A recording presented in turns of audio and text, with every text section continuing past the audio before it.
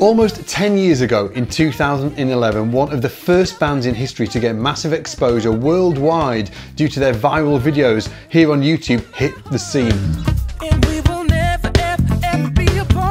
There was no management company, no record label, yet their videos were racking up millions of views. And in 2011, this was like a game changer. It was revolutionary. Now, the band I'm talking about is obviously the one and only Dirty Loops. And the bass player is the phenomenally talented Henrik Linder.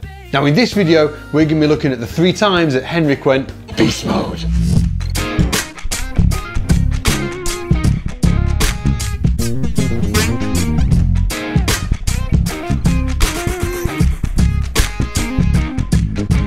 Hey, it's Scott Devine here from scottsbasslessons.com, helping you take your bass playing to the next level. And on this channel, we focus on one thing and one thing only. We focus on bass. We do YouTube tutorials, we talk about gear and everything in between. So if you are new here, make sure that you go and slap that subscribe button. So first up, I want to feature the bass line Henrik played in the first full performance video Dirty Loops ever released back on July 15th, 2011. It was Just Dance by Lady Gaga and the bass line is monstrous. If you haven't heard this before, your jaw is going to hit the floor. Mine certainly did. Let's check it out and then I'm going to break it down for you so you can see exactly what's going on. Just pff, wait for this.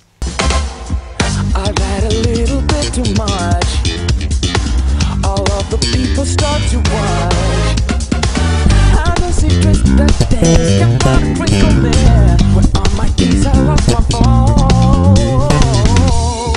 Okay, so let me just play that at full tempo with the metronome. And what we'll do is we'll put tab and notation underneath. But what we've done is we've created a, a workbook for you guys as well, including the tab and notation. You'll find the download link for that in the description below. So make sure that you grab that. Now, let's check it out at full speed.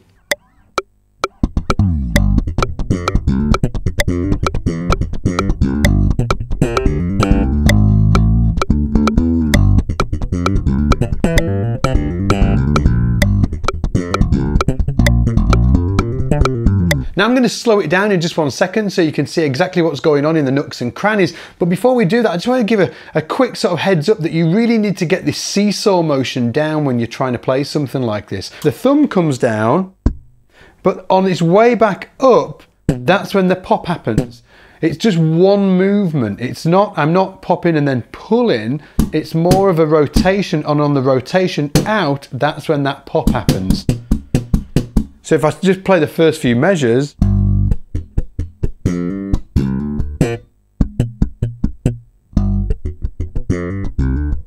you can see that running all the way through. Now let's hear the that full riff, but just slow down a bit so you can see exactly what's going on.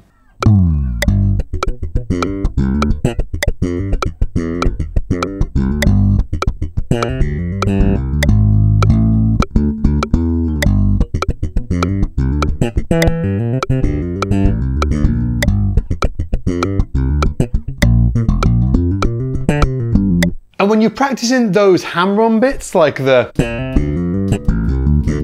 Make sure you practice those in isolation, not as, you know, trying to do the whole thing at once. Just take that one little piece.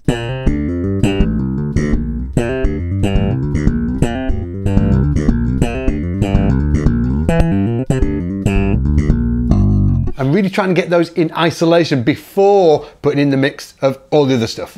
Okay, so next up is Henrik's cheeky little fill that he plays in their cover of Circus by Britney Spears. Just check this out, it's, it's so good.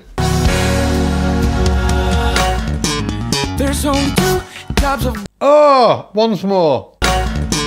There's only two. Now the bit that I want to focus on here is that intro triplet that Henrik plays. That thing.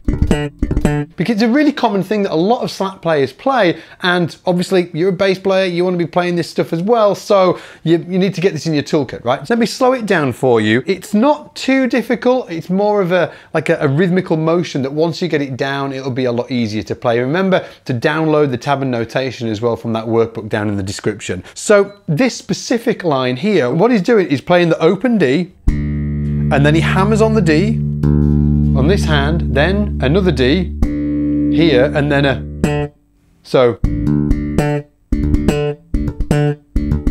It's a really great thing to get down and you can throw it into your regular slap grooves that you're playing. And it doesn't have to have the open string in it either. That's what Henrik was doing here.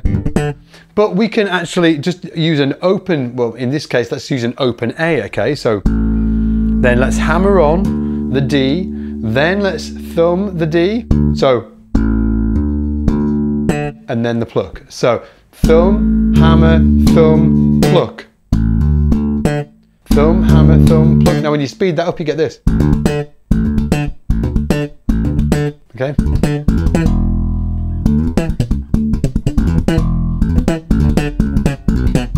Now I've got one more for you guys and it's absolutely killer, but before we even get on that, it's time for question of the day. Based on all of the amazing feedback that you guys have left in the comments about these beast mode videos, I want you to give me the top three bass players you'd like to see featured and if possible, let me know, you know if there are any specific performances that you'd like me to focus on. If you would let me know in the comments, that would be boss. Now last but certainly not least, I want to feature a new track that the guys have just recently released and unlike the other two examples that we've been listening to in this video, this one is actually one of their own tunes. Now specifically chosen this because it's actually not bass pyrotechnics so much, it's just absolutely laying it in the pocket and Henrik's leaving a ton of space in the line and this is a really great thing to be able to do when playing slap bass and is actually more challenging than you might think. It's sometimes simpler to go digga digga digga digga digga and when you start leaving large bits of space, you can feel like somebody's removed a crutch and you're about to fall over. So let's jump into this track and then I'm going to break it down for you.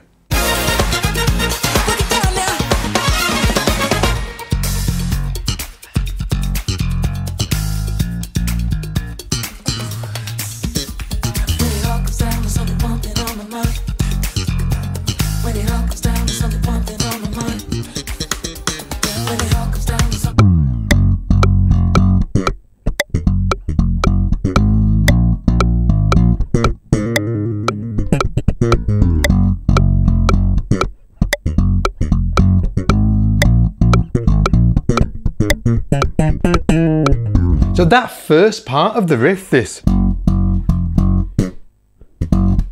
that gap there, just when you're playing it, it, it can feel really uncomfortable because you're so used to like doing that thing, but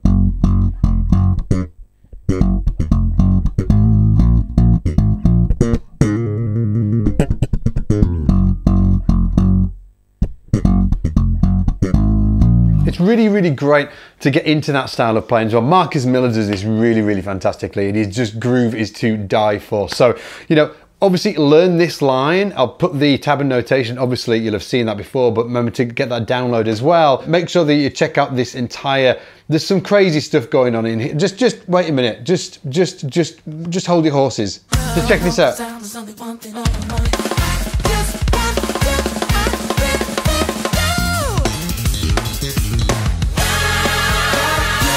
Now, if you're thinking I'm going to transcribe that for you, I've got kids. I need a life as well. Now, if you enjoyed the content in this video, make sure that you slap that like button down below. And obviously make sure that you leave a comment and let me know who that you like to, you know, to see featured in future lessons just like this. And while I'm asking you to do stuff, go check out scottsbasslessons.com as well, because it is the ultimate online learning platform for bass players such as yourself, so you can learn with the best bass educators in the world from the comfort of your own home. I'll put a link below as well so you can go check that out. Now, with that said, as always, take it easy and I'll see you in the shed.